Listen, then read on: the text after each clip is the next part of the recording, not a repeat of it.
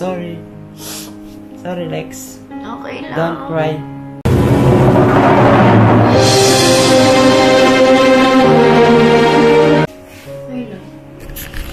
Bakit? Ano gusto mong sabihin? Anong nangyari sa'yo nun? Ano, nasaan tayo? Kasi, Wala, naiinis lang ako.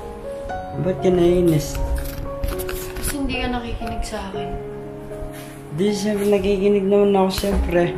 Siyempre, kailangan ko din, ano, mag, maging magkaano, sariling buhay. Oo, alam ko naman yun. Hindi din naman ako against sa inyo ni Cindy. Pero sumama lang yung loob ko kasi... Siyempre, nung time na wala pa si Cindy, di ba? Pag may problema ka, nandyan ako para sa'yo. Tapos ngayon na nandyan na si Cindy, parang pag nag advise ako, kahit para naman sa'yo, hindi ka na nakikinig sa akin. Tapos parang wala ka ng pakialam. Yun, kaya sumama lang yung loob ko. Tsaka, yung sinasabi ko, para naman sa'yo, na huwag kang magmadali. Kasi hindi nandyan lang naman yan. Yung relasyon nandyan lang yan. Gusto ko kasi, ah, mas may mapatunayan ka muna sa sarili mo bago mo pasukin yung ganong desisyon. Ayun, concern lang ako, pero parang minasama mo kasi, kaya sumama yung loob ko sa'yo. Next. Sorry kung nanos na yun.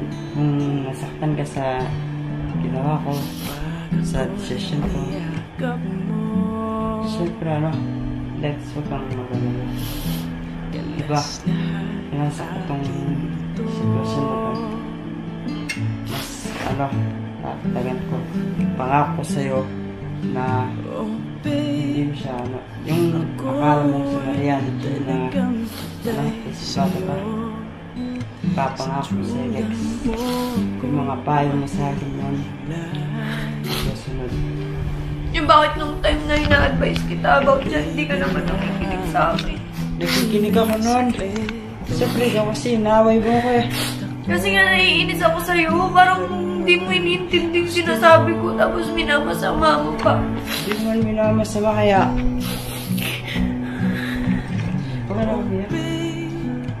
Isang ngiti mula Di ba ako na-miss? Hindi.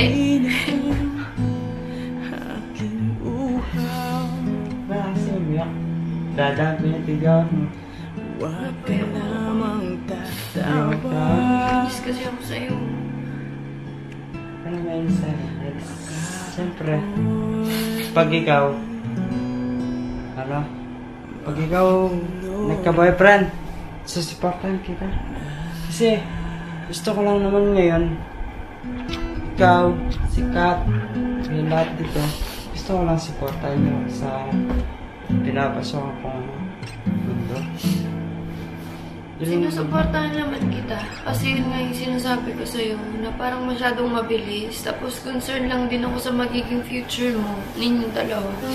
Kaya nag-advise lang ako. Kasi hindi ko alam na aabot sa ganun. Sa point na magkakagalit tayong dalawa, na hindi mo pinakinggan. Sumama yung loob ko. Huwag ka na kasing magalit. Basta, ano, papangako ko sa'yo. Hindi ko kayo iiwan. Kahit magpakasal namin si Di, hindi ko kayo iiwan. Nandito lang ako sa tabi niyo para pag kayong gagabayan ang lahat ng mga babae dito. Kahit may asawa na ako. Siyempre, hindi pa kayo makakalimutan. Kayo yung aking.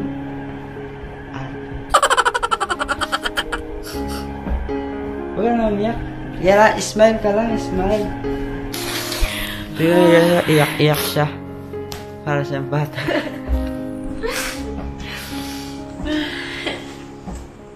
Bigla-bigla ka naman pumupunta dito, no? Siyempre.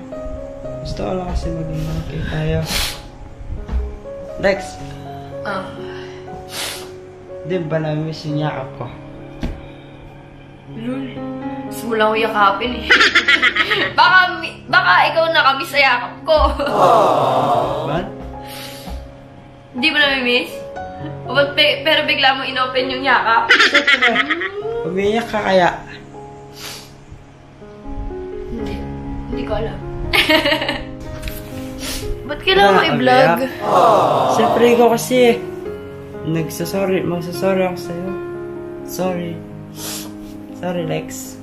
Okay lang. Don't cry. No woman, no cry dapat.